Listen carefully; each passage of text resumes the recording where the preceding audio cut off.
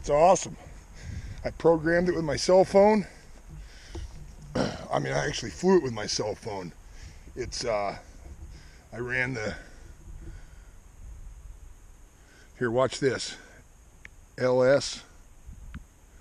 See the number one takeoff and land? That's the one I ran. That's awesome, huh? You just punch that in, it takes off, it hovers for 30 or 5, 10 seconds, and then it comes back down and lands. So I got her tuned up pretty good, huh? All right, that's it. I did two tests. I think that's enough for right now. That was fun. It was kind of exciting because I didn't want it to, you know, flip sideways and mow the grass or fly into the neighbor's house. It kind of just went straight up and it stayed right put and it came straight back down. Perfect, just like I wanted it to do. All right, I'm going to shut it off and